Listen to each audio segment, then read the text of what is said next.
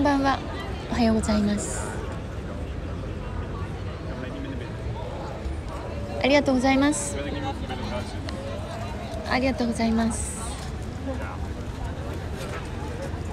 今日はノートルダム。ノートルダムにやってきました。おはようございます。早起き。早朝から見てくださりありがとうございます。ノートルダムがね、そろそろ出来上がってきましたね。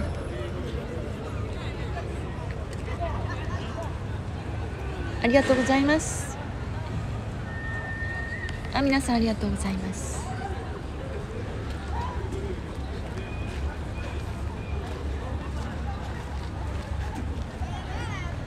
この時間ね本当はいつもダイヤモンドフラッシュエッフェル塔から始まるんだけど、ーここ。ノートルダム来ちゃうとねエッフェル塔見えないんで。こうやって。エッフェル塔を眺めてます。あたくさん。皆さんたくさんたくさん。ありがとうございますね。ありがとうございます。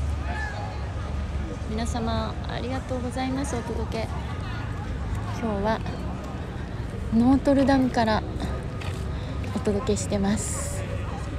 2019年の4月にね開催があってそれ以来ねずっと修復工事で中に入れなくなっているパリのノートルダム寺院です。ありがとうございます。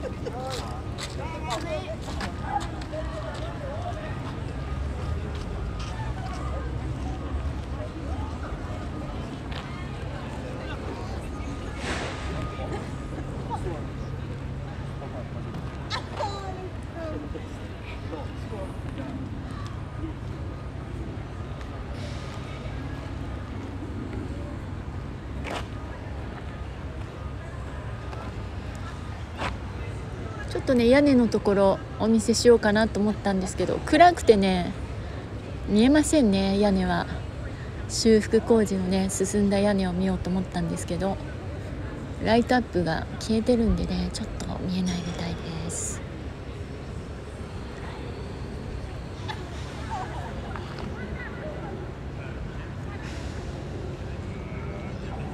でもね工事中もこうやって広場にたくさんの人がね、訪れてノートルダムのね姿を夜中にみんなで眺めてます。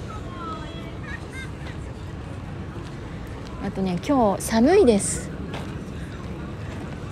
あの気温17度ぐらいしかなくて昼間からね。曇ってて、えーめちゃめちゃ寒いです。もう7月半ばというのにすごい寒くて。なんかねコートとか着たくなっちゃう、うん。薄手のトレンチコートとか、うん。なんかセーター着たくなっちゃう。寒さです。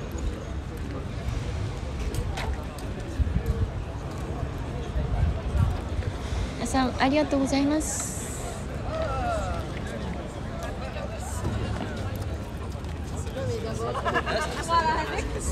ちょっと階段登ってみようか。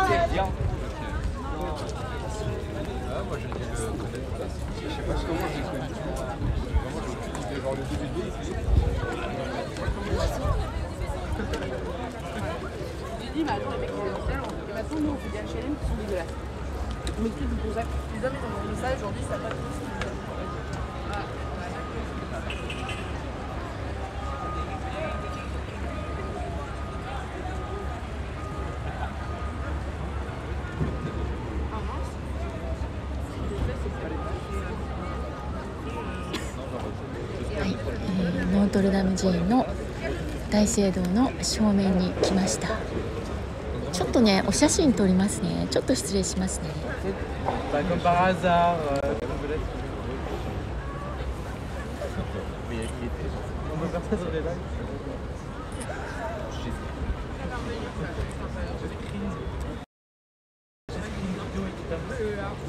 はいありがとうございました。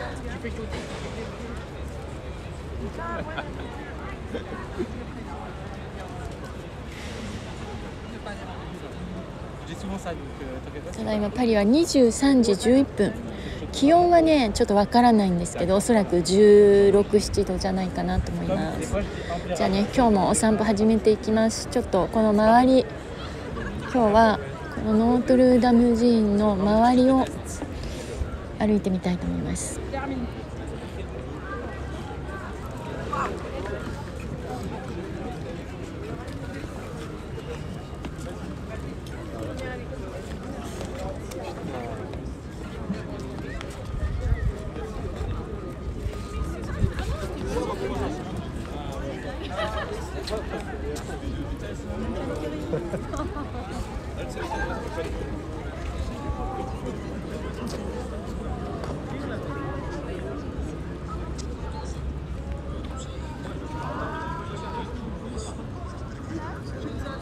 今日はねもう寒くてなんか肩にねあのショールショールをね羽織ってます。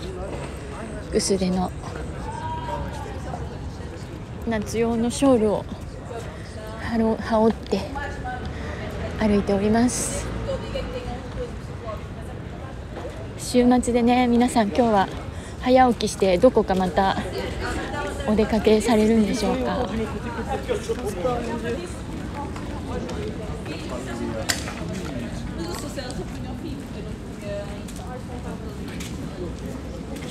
with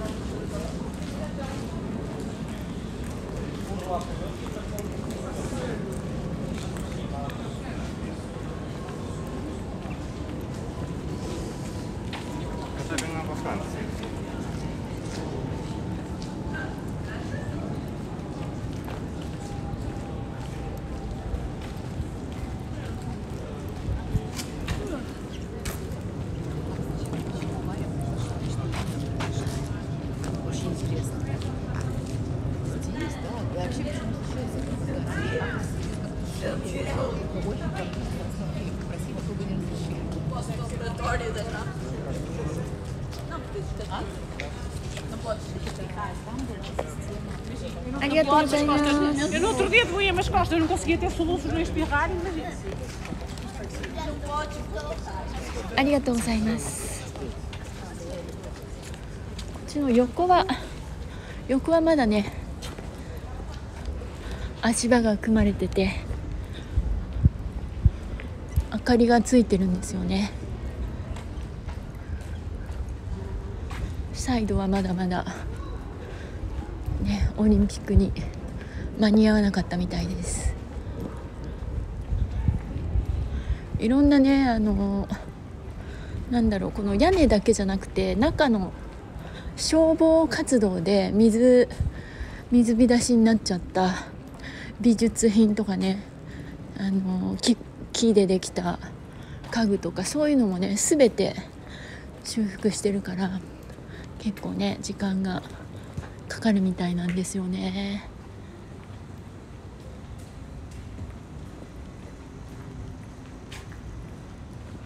でもねステンドグラスは無傷でしたね。ステンドグラス。バラ窓と呼ばれる。正面にもステンドグラスあるんですけど、えーノートルダム大聖堂のバラ窓と呼ばれるね綺麗なステンドグラス。ステンドグラスはね無傷でしたね。よかったです、はい。おはようございます。皆さんありがとうございます。今日はパリのノートルダム大聖堂からお届けしてます。あおはようございます。いつもありがとうございます。いつもお届けありがとうございます。早朝からね見ていただき。本当にありがとうございます。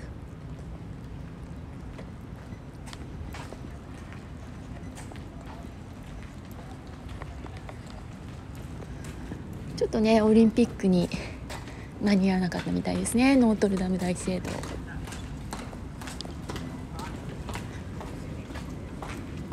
すごい。こんな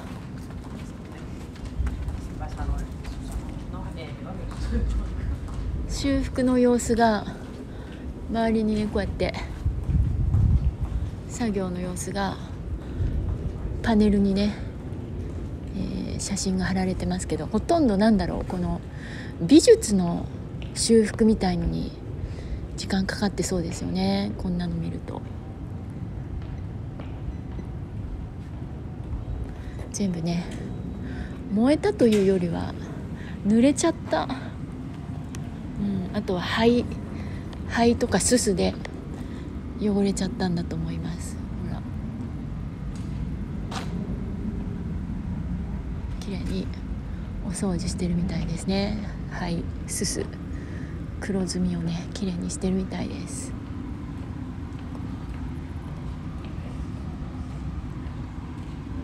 ガーゴイル？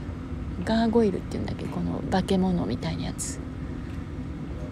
犬に見えますけど。ほら。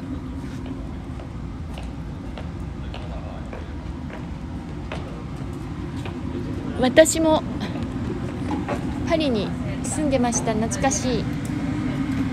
あそうなんですね。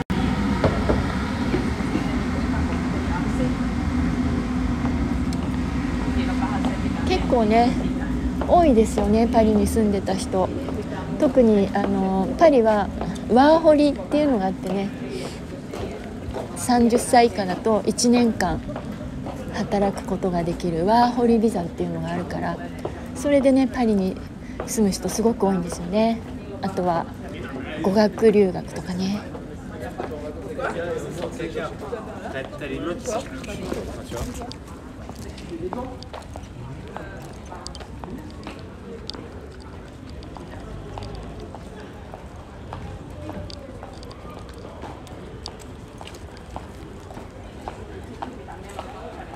なさんおはようございます。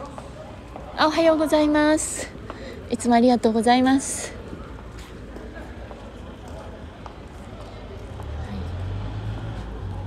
はい。ありがとうございます。皆さんおはようございます。たくさんお届け朝から早朝からありがとうございます。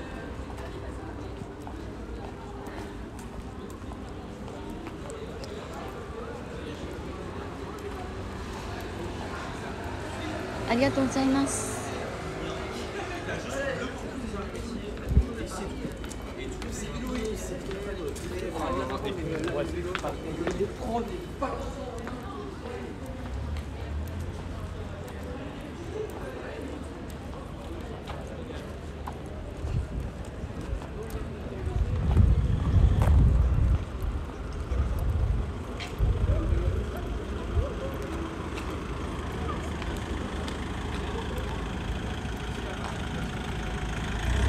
あ、キューゴさんありがとうございます。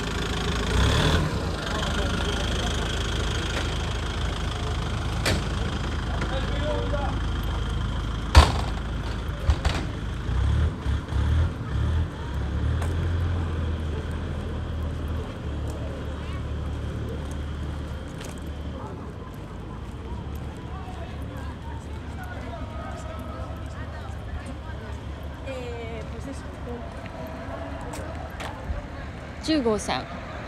まもなくですねオリンピック。そうですね。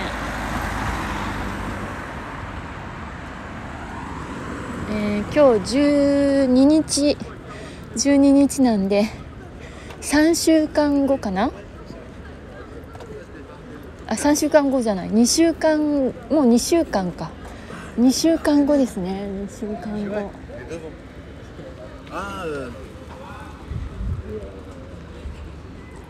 でもその前にねあありがとうございます。たくさんの思い出思い出します。ありがとうございます。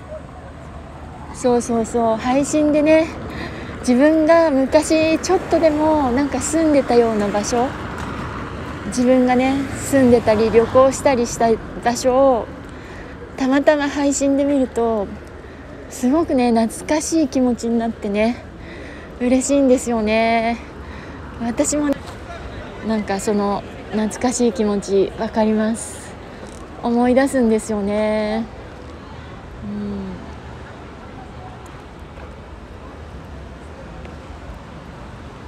うん。あそこのあそこのあそこ行ったなとかね。あそこで何々食べたなとかね。思い出しますよね。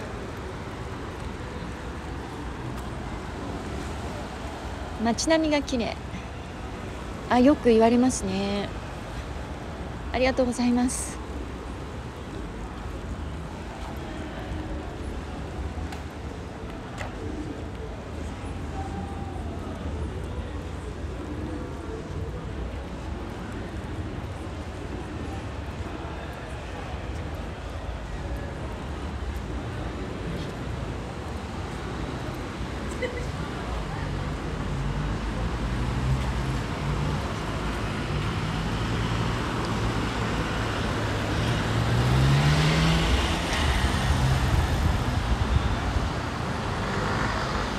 ちょっとね暗いけど。ノートルダムの後ろ姿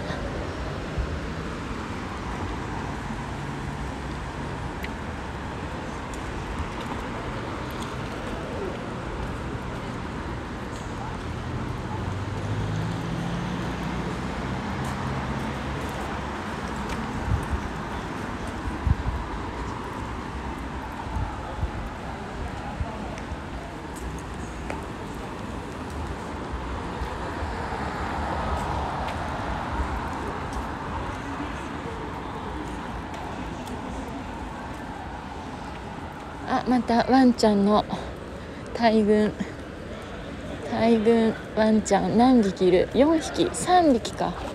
3匹のワンちゃんお散歩。すごい綺麗なワンちゃん。三つ子かな？三つ子かな？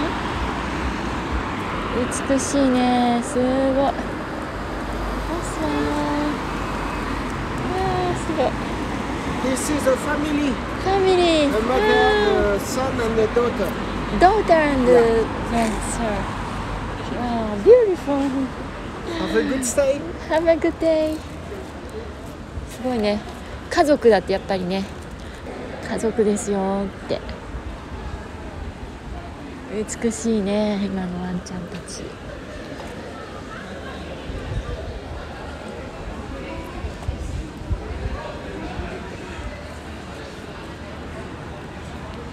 ちにもワンちゃん。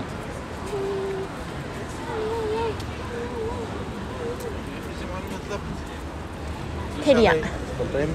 テリアがいましたねヨークシャテリア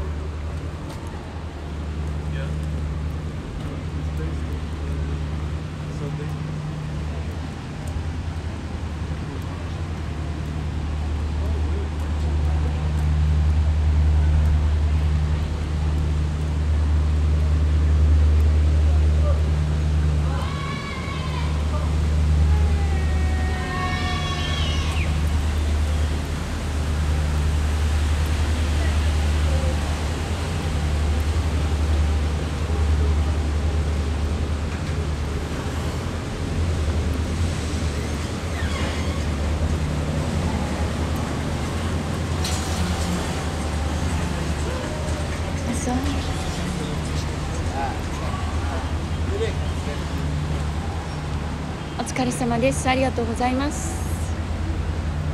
皆さんありがとうございます。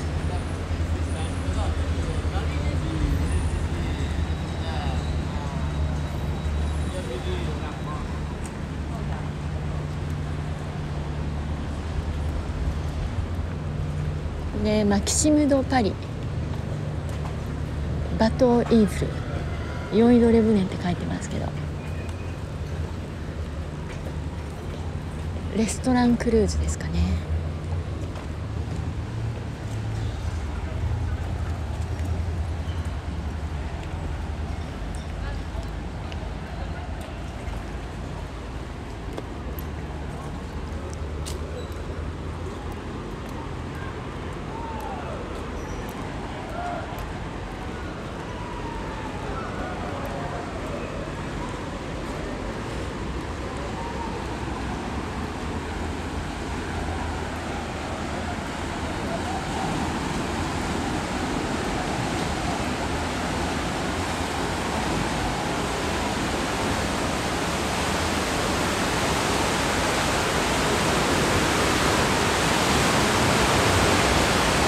ありがとうございますありがとうございますありがとうございます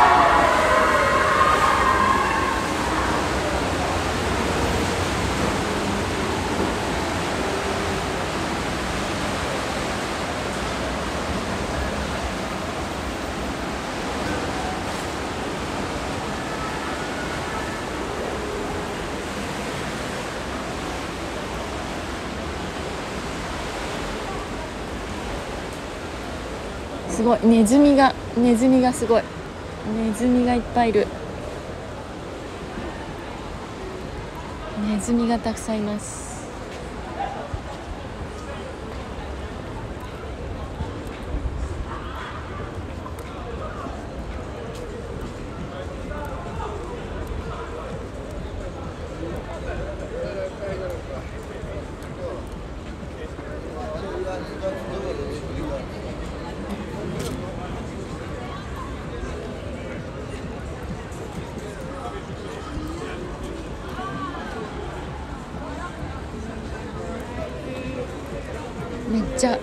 臭いですねこの辺。みんなお酒飲んでるから。すごいお酒臭い。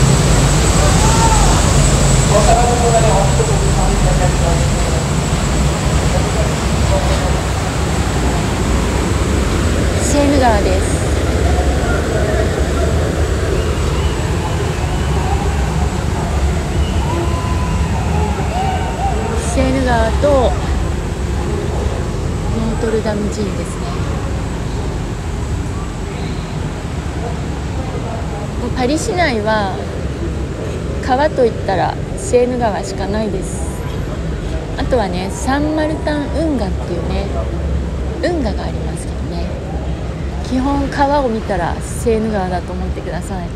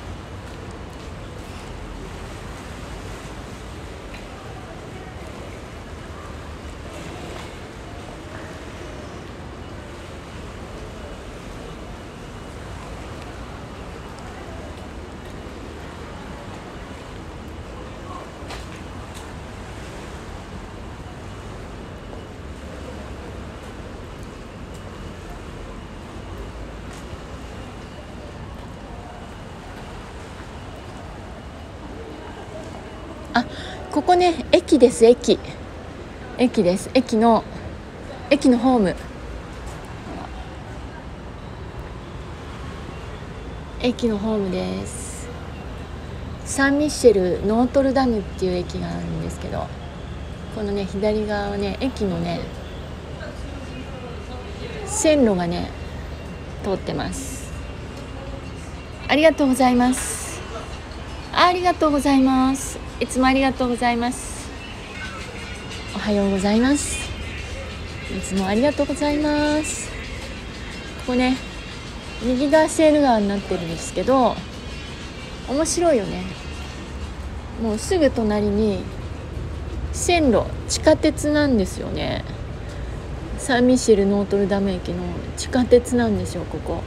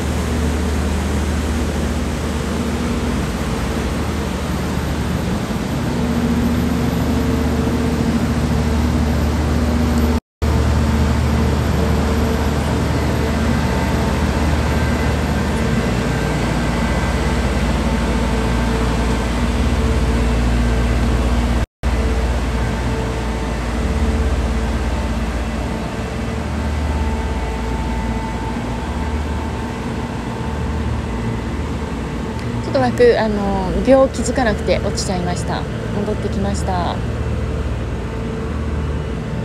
えーお戻りの方いたらありがとうございます。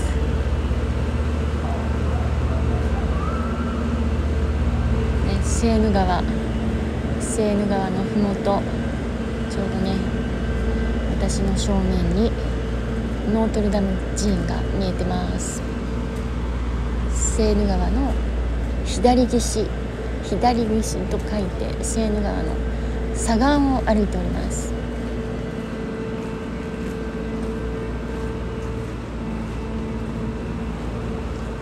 早朝から見ていただきありがとうございます。ちょっと今ね続きだったんだけど、えーここ地下鉄。地下鉄の線路のね脇を歩いてます。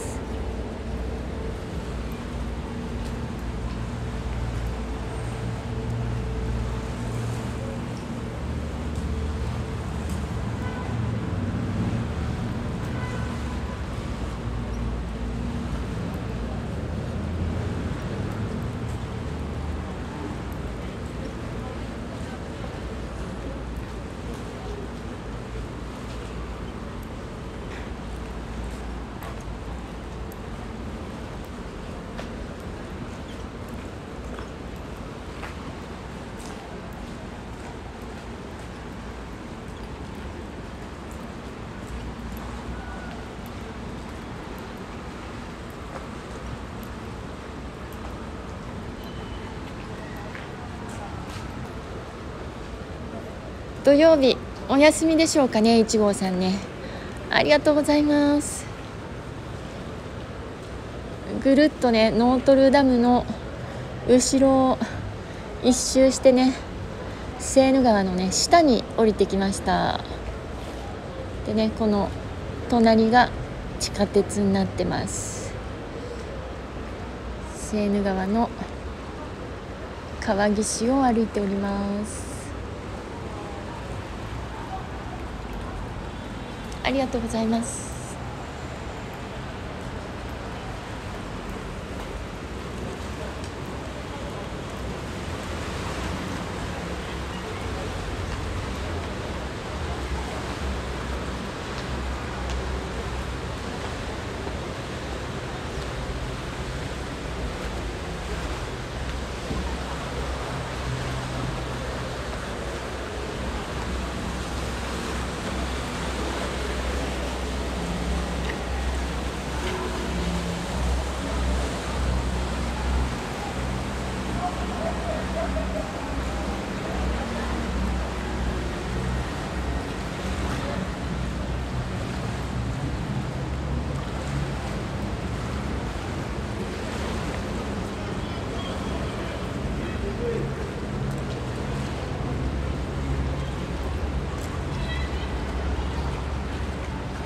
前にも言いましたがなぜかこの景色を見るとレ・ミゼラブルを思い出す。ああそうそうそう。ジャン・バルジャンが多分この辺逃げたりしたんじゃないですかね。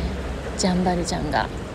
もう一回ねちょっと読んでみないと思い出せないんだけどちょっと読んでみよう「レ・ミゼラブル」アーム上ですよね。私子供の頃読んだんでなんかアーム上だったんですよね。アーム上っていうやつ。子供子供小説みたいなやつ読んだ記憶があるんでね、えーもう一回今度ネットで探して読んでみます。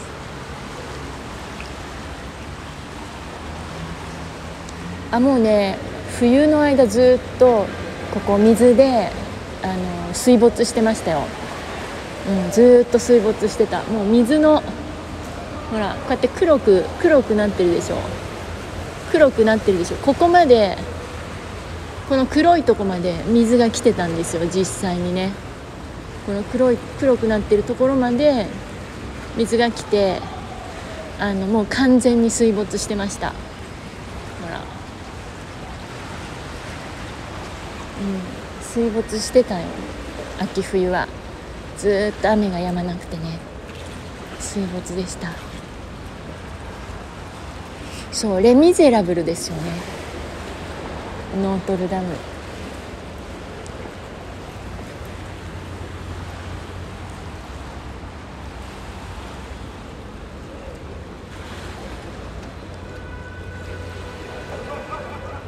だから夏になってやっとね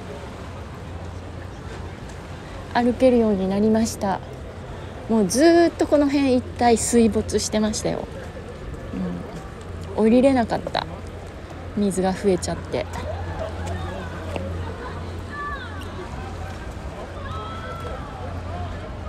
モン・サン・ミッシェルはねあの逆に干上がっちゃったんですよねモン・サン・ミッシェル。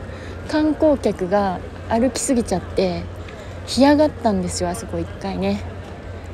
えー水に沈む姿がね美しかったはずなのに観光客が来すぎちゃって干上がっちゃったんであのそのねその変化を止めるために日本が出資して橋を作ったんですよ。その周りを人が歩かないように。そしたらまた水が戻ってきて、年に何回か満潮になると、えー海にね浮かび上がるそういう美しい光景が見れるようになりました。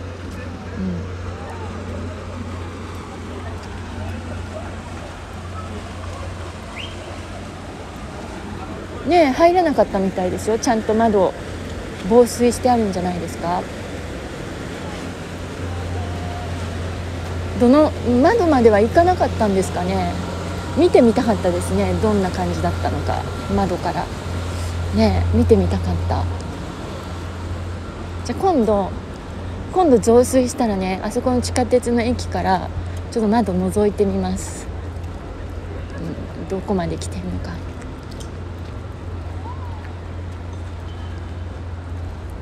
おはようございます。ありがとうございます。そうモン・サン・ミッシェルはねだから干上がっちゃった方ですね。それをわざとまた人工の力で、えー水没させたっていうかちゃんと満潮時に潮が戻ってくるようにしたんですよあれは。わざわざ。それを出資したのが日本人。日本でしたね。なのでなんかしばらくね日本の鳥居みたいなのがあそこにあったらしいですよ、もう10多分10年ぐらい前の話、うん。ありがとうございます。皆さんありがとうございます。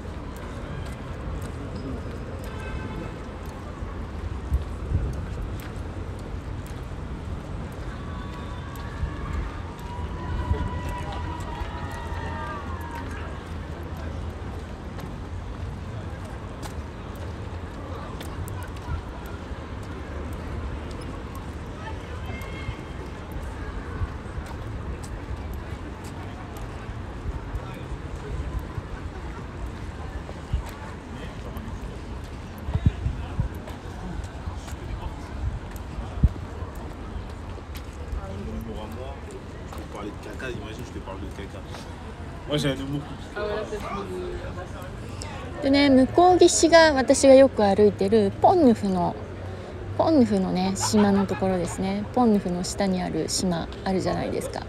向こう岸がポンヌフです。ここ正面に見えてるのがポンヌフの橋の一つですね。ポンヌフ橋が2つあるんでねその一つです。川がなんか二股に分かれてるんでね島島を挟んでセーヌ川が二手に分かれてるんでね。ポンヌフの橋2つあります、はい、遠くに、えーノートルダム大聖堂が見えます。でこの今工事してる建物が、なんだろうおそらくフランスの最高裁判所かなんかじゃないかなと思いますね。 Palais de Justice Palais de Justice 裁判所かなんかだと思います。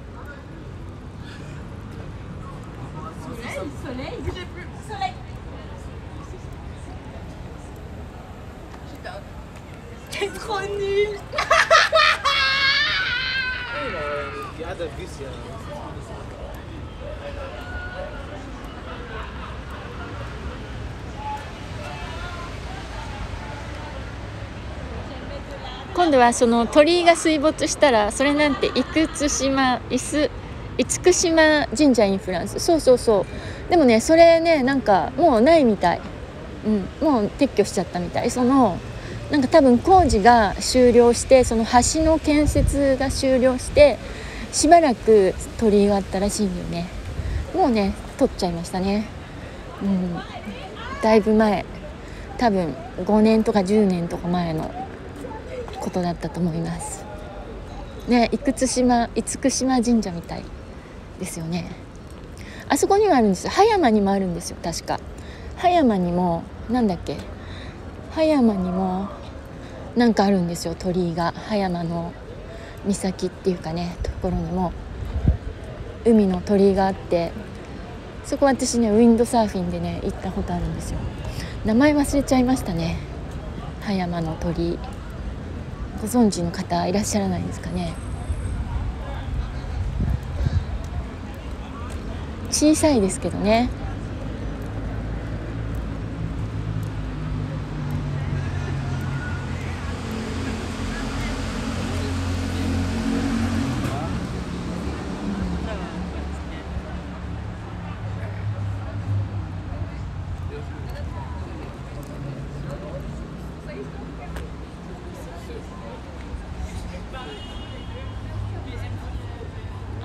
もうもうここまで来るともうここまで来るとノートルダム完全に見えなくなっちゃいました。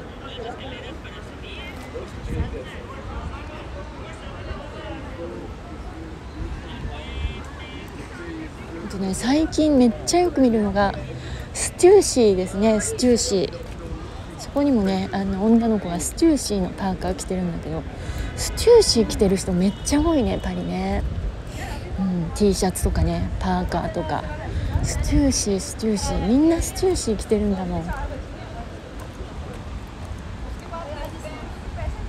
そんなね昔人気のブランドだった感じしないですけどね。昔からねあるブランドだけど。今パリで着てる人すごく多いです。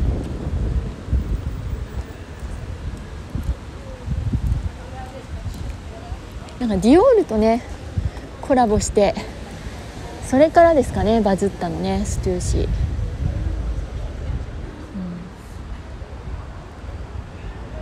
ありがとうございます。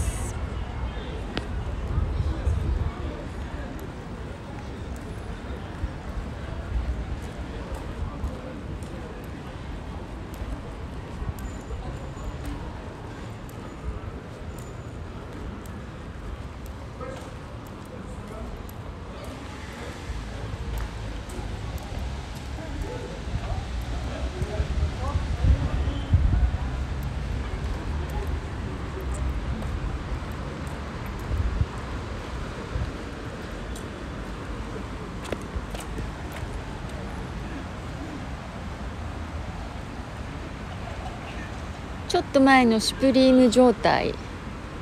ああそうですね。そうかもしれないですね。やっぱり並んでますね。スチューシーのお店。あの入場制限。店がちっちゃいんですよスチューシー。パリの。そうすると入場制限なんかしてめっちゃ並んでる。いつ通ってもね並んでますねスチューシーね。ネットで買えばいいじゃんって思うんだけど並んでるよ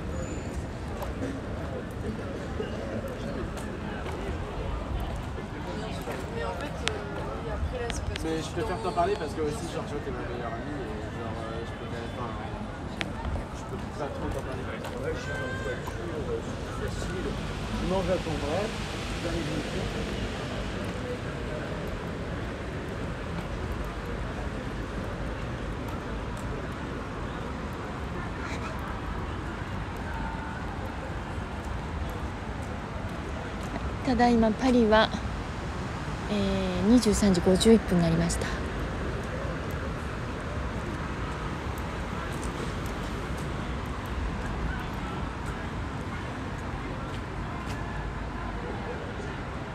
どっち行こうかな。もうちょい下歩いてみましょうか。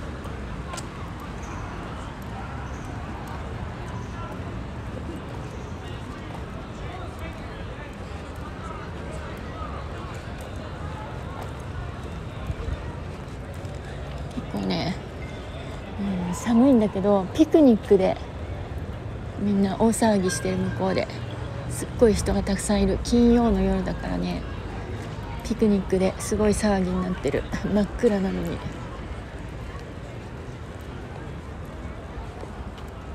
ありがとうございます。あ皆さんありがとうございます。ねえ。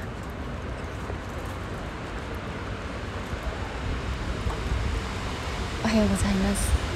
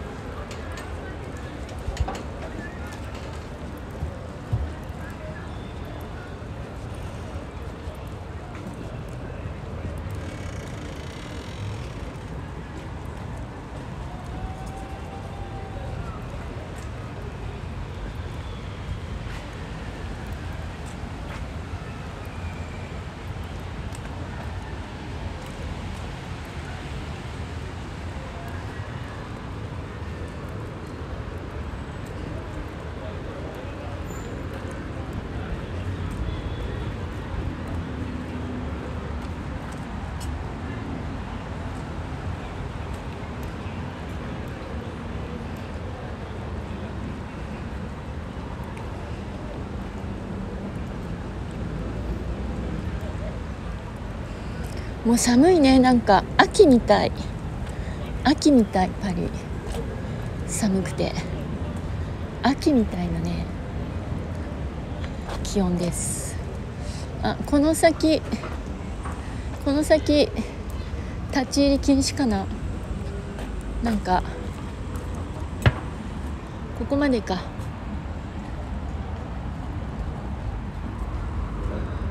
ここまでしかね。行けそうにないわ、うん、こっから先ね歩けなくなっちゃいましたね。これオリンピックのね準備ですかね。開会式の準備だと思います。私の正面には、えールーブル美術館が見えます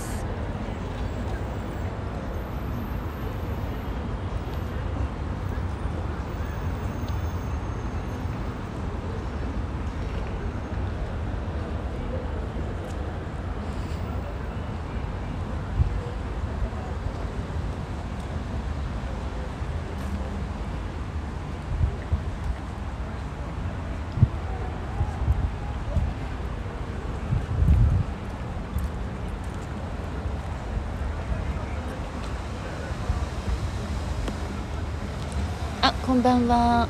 ありがとうございます。いつもありがとうございます。お届けたくさんいつもありがとうございます。おはようございます。おはこんばんは。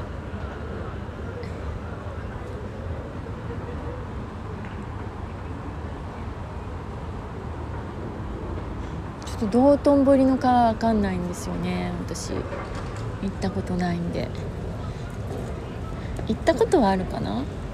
ちょっとあんまりよく覚えてないですね。なんかでも京都の鴨川に似てるってよく言われます。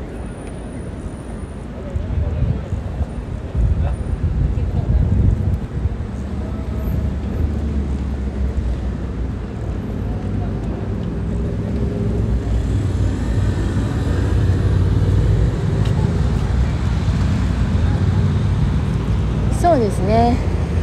開会式がねセーヌ川であるんで。ね。なんかその準備であんまりセーヌ川の周り歩けなくなってます。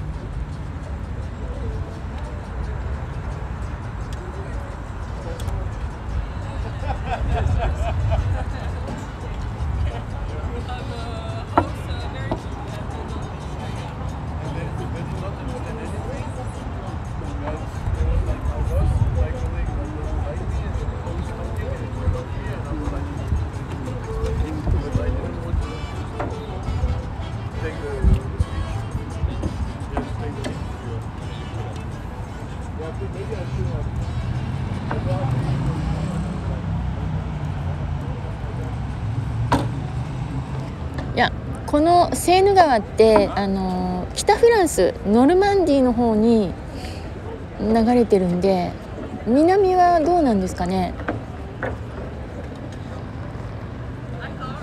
多分北から東に流れてると思うんで地中海には行けないと思いますね。多分。地中海には行けないと思います。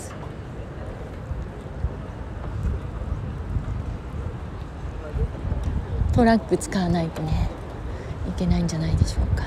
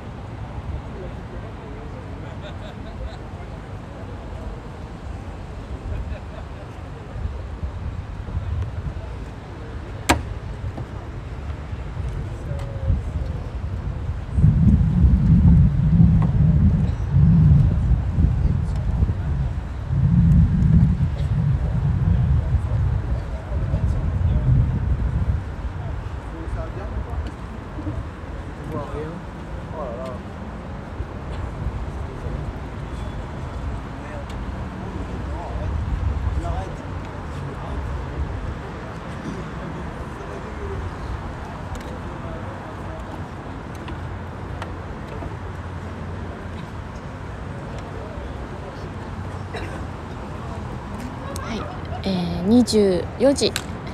24時のねダイヤモンドフラッシュが輝いてます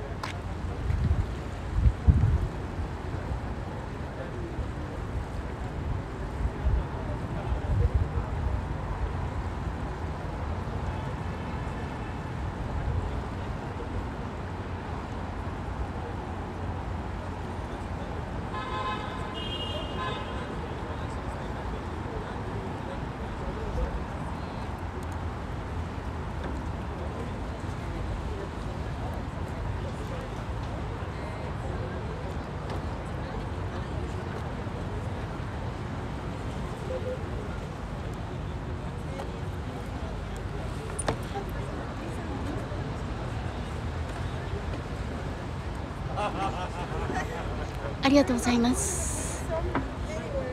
ありがとうございます。六号さんありがとうございます。ちょうどね今24時のダイヤモンドフラッシュが輝いてます。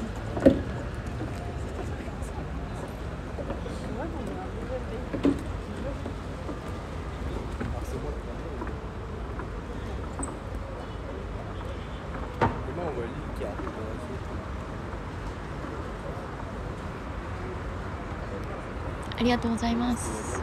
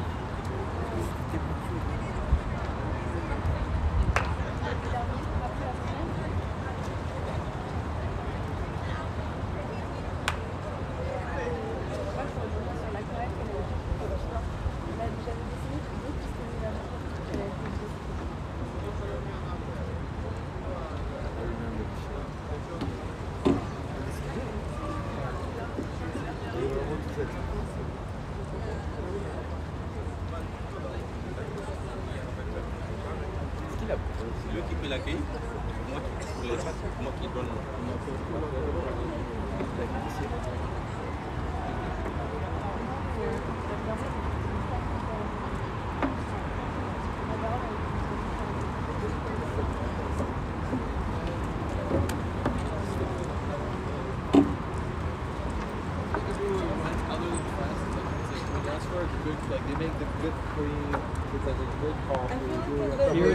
ありがとうございます。いつもありがとうございます。おはようございます。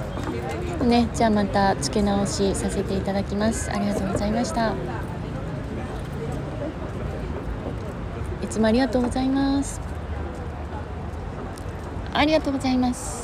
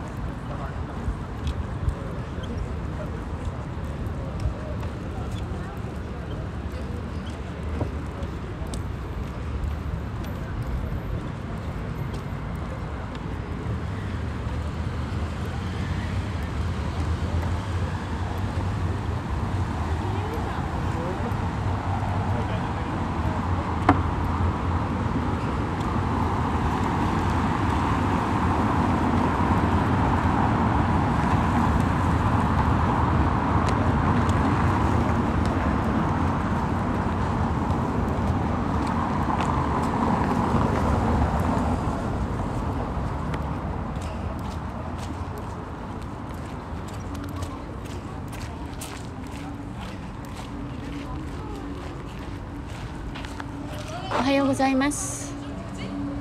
パリは素敵な夜景ですね。ありがとうございます。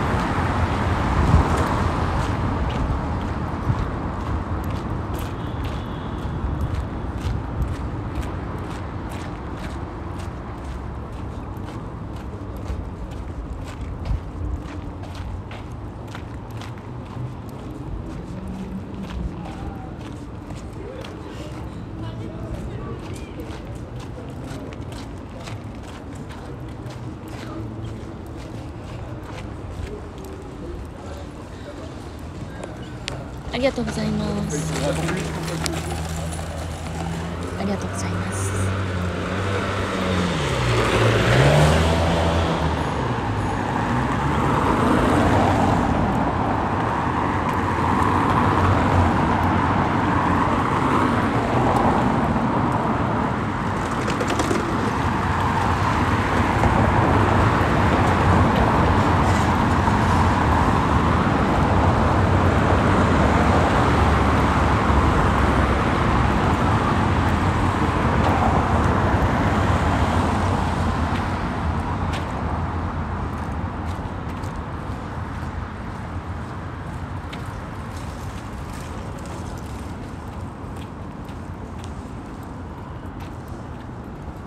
あまたねオペラが聞こえる。またねオペラの女性がいらっしゃいますね。ここまで声聞こえる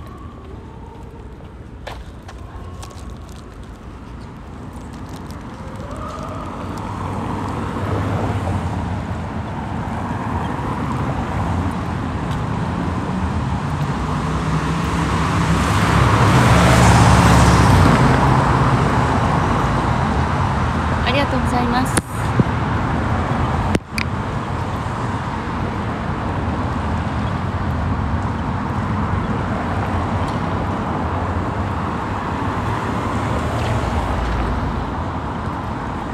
そうですねオペラだったら一人しかいないんでいつもの女性だと思います。あここもここもねすごい観客席特設特設のねもう観客席が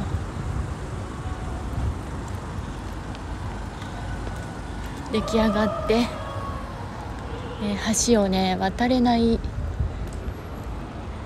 ここ。歩行者は渡れるのかな？歩行者オンリーになりましたね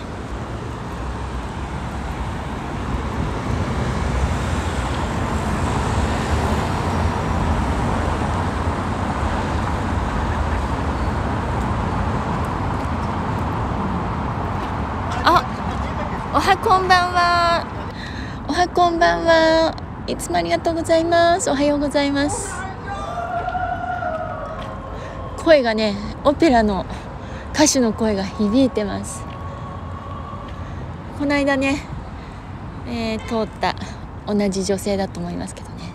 ここねあの歩行者のみになっちゃいましたね、えー開会式のねちょっと特設席がね椅子が出来上がってきてますね、は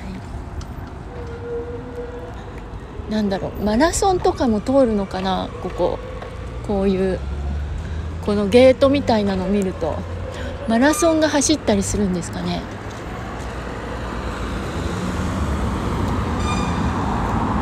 ？4号さんありがとうございます。4号さんちょっとね。一日空いちゃいましたね。昨日あの夜ね私夜やったんですけど多分あの4号さんがいつもねコメダに行くより少し前にね私配信をね終わりましたんでね昨日ちょっと長時間夕方からね早い時間から長時間やっちゃっててもうねバッテリーもなかったんでね、えー昨日はいつもより、え30分ぐらい早くちょっと配信をね終わらせていただきました。休日休日ですが寝坊はされませんでした。今日は。今日もワンちゃんと楽しくお散歩されてますでしょうか。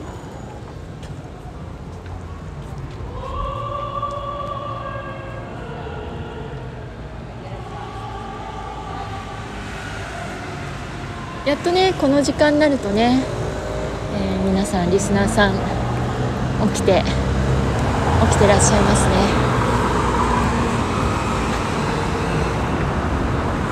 休日から、えーあ川沿いを歩いてるんですね。私と一緒じゃないですか。川沿い。私も今ね川沿い歩いてました。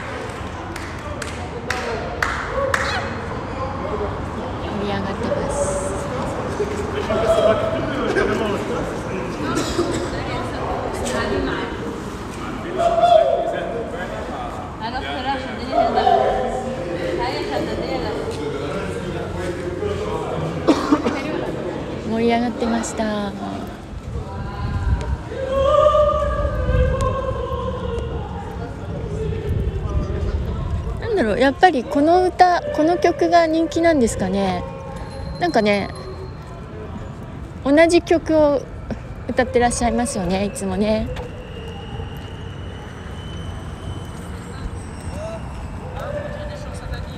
声聞こえてきました？川沿い。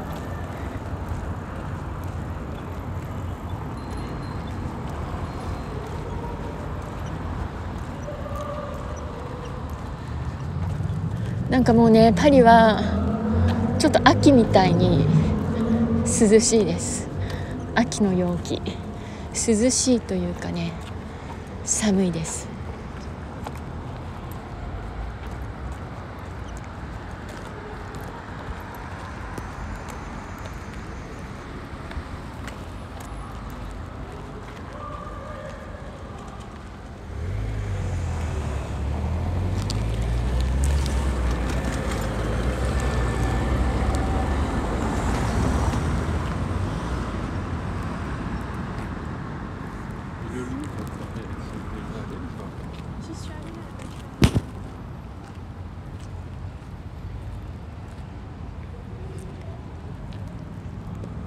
なんかねあのピラミッドルーブル美術館のピラミッドはライトアップないんですけどほらピラミッドはね真っ暗に消えちゃってますけど、えーカルーゼル。このねミニ凱旋門はね輝いてます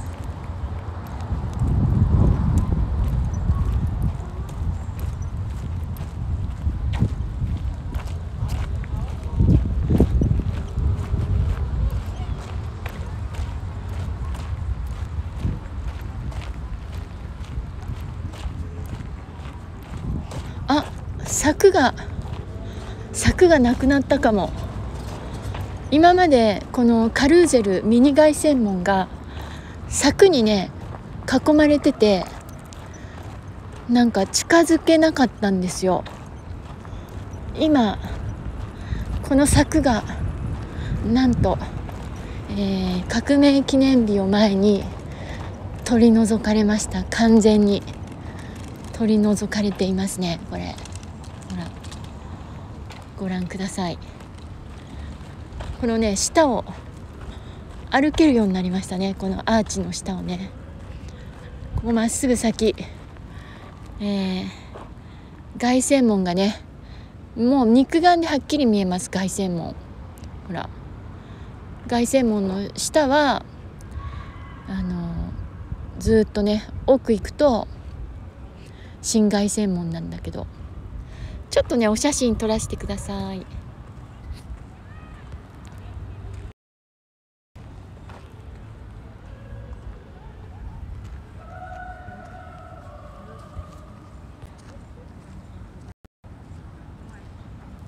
綺麗ですね。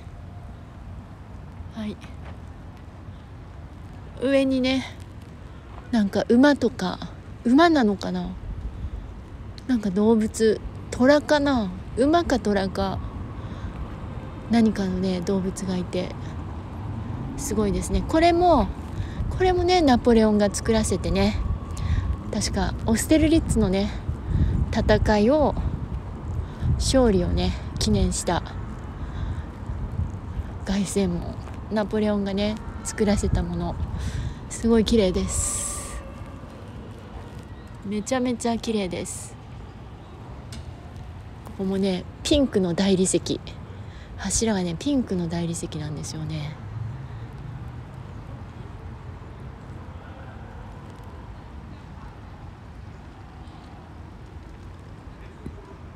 すごい彫刻。彫刻もほどろ施されてて本当に綺麗です。でねこれはあの早く作られたんでナポレオンがね見たと思うんだけど奥のね向こうの一番向こうに見える巨大凱旋門。あれはねナナポレオンはね見ることなくなくなっちゃったみたいです、はい、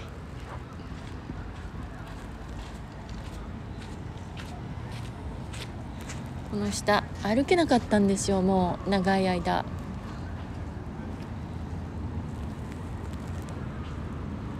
時間が早ければこの正面にはねあのルーブルのピラミッドがね、えー見え見えるはずなんですけどちょっと暗くて見えません。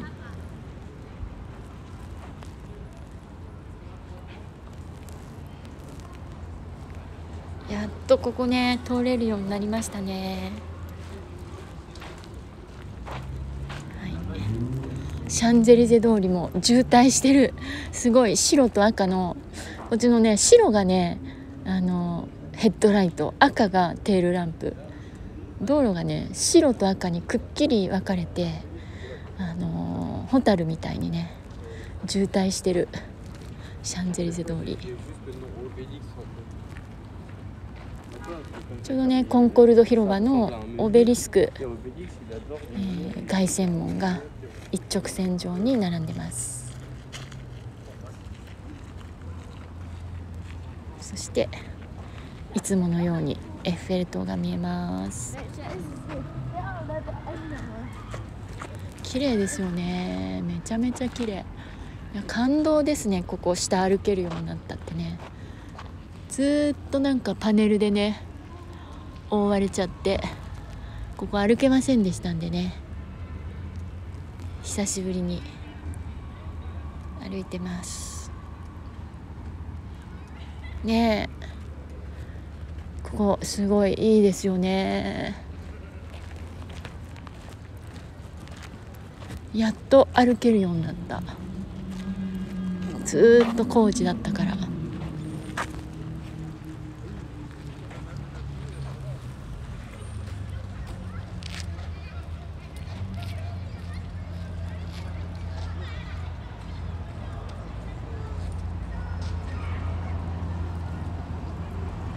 ぱねこうライトアップされてるんでね夜お散歩してても本当楽しいんですよ。うん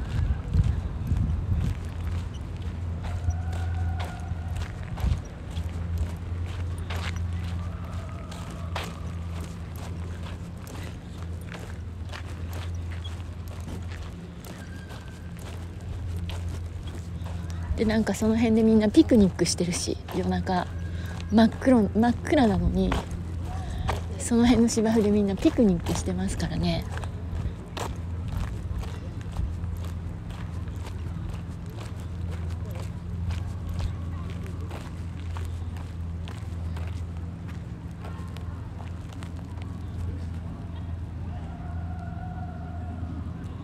ちょっとねお写真撮らせていただきます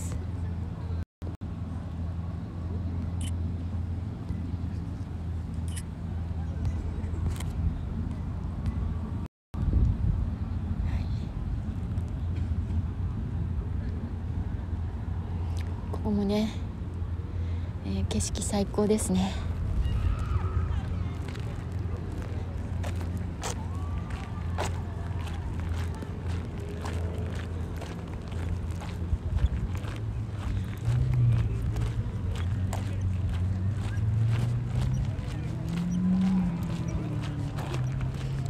ね今年の革命記念日ちょっとオリンピックの影響で場所がいつもと違うんでなんかどこ行っていいか分かんないんですよ。軍事パレードとか飛行機の航空ショーとか。うんどこ行けばいいのかなって感じですね。まだ何も調べてなくて。私あんまりねなんか事前に調べて計画立てるとかっていうことをねあんまりしないタイプなんですよ。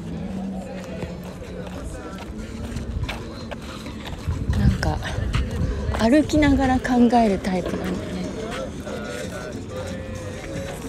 でも今回ばかりはちょっとね下調べしないとなんかミスったら何も見れなそうなんでね頑張ってね調べないとね今日にでも。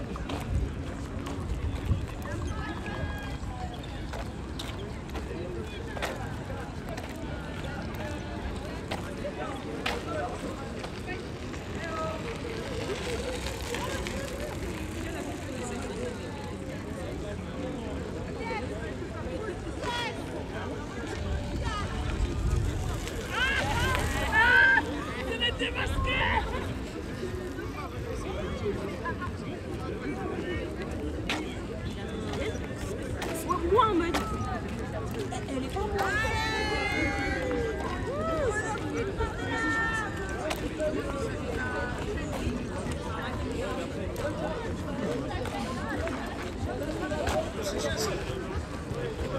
아! ちょっとねこっから電波弱くなります。電波弱くなっちゃいます。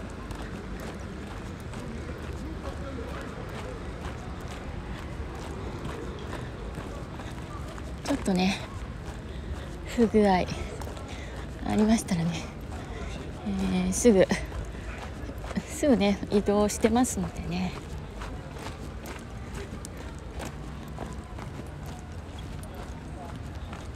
どんどん移動してます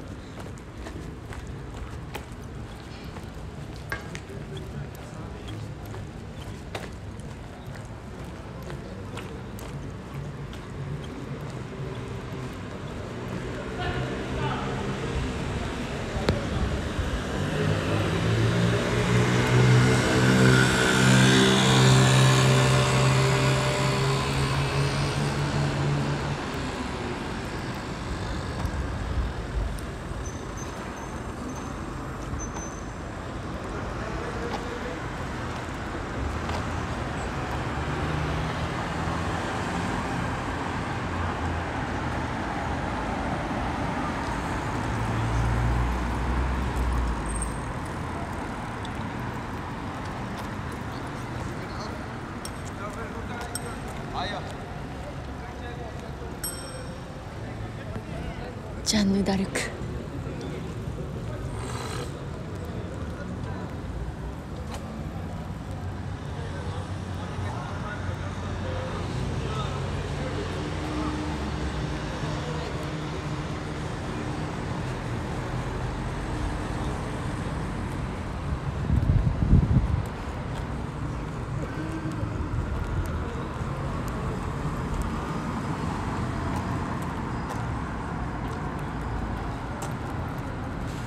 ありがとうございます。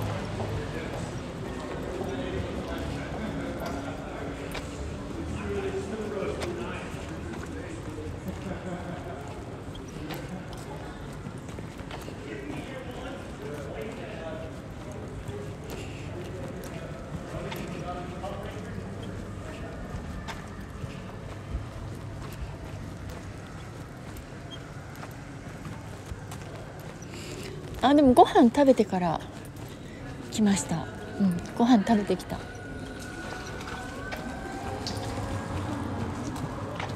でまた寝る前にまた食べます。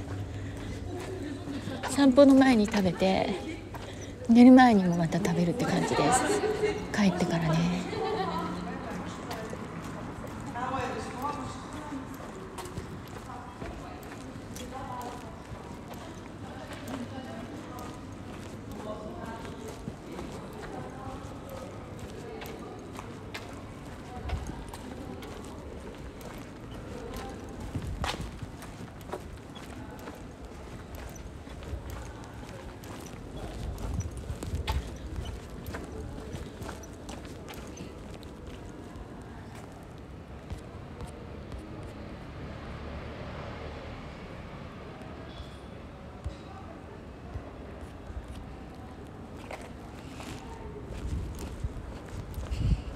でもお腹よりなんか喉乾きますよやっぱり。すごい乾燥してるんでね。乾燥してるんで結構ね喉乾きます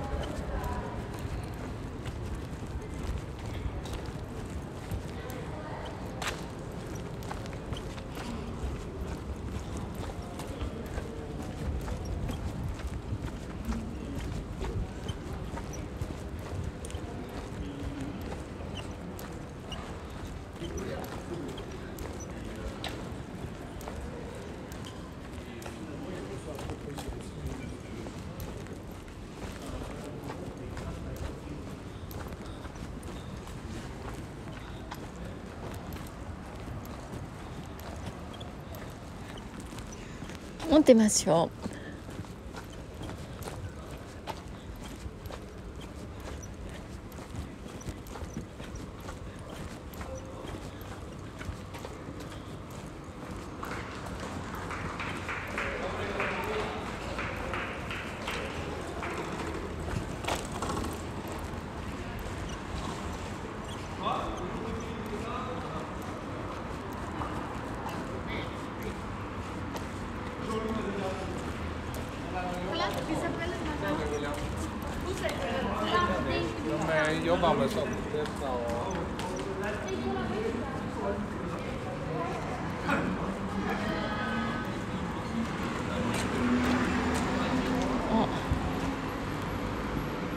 広告。ありがとうございます。広告を張り替えてる。